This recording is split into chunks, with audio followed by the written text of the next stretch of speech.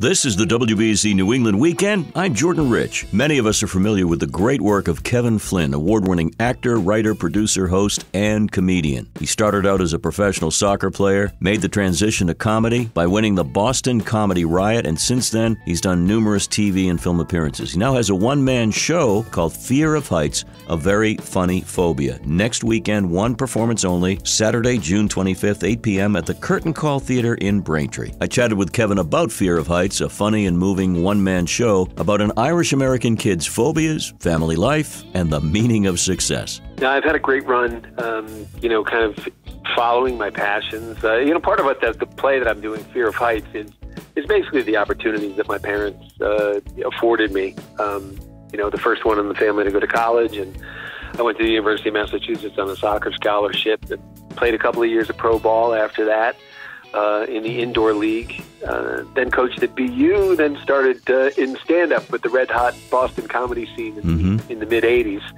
um, which opened so many doors to me to this adventurous life that I've uh, that I've led. Um, after living in Boston for a few years and doing some television, you know, I started hosting television shows.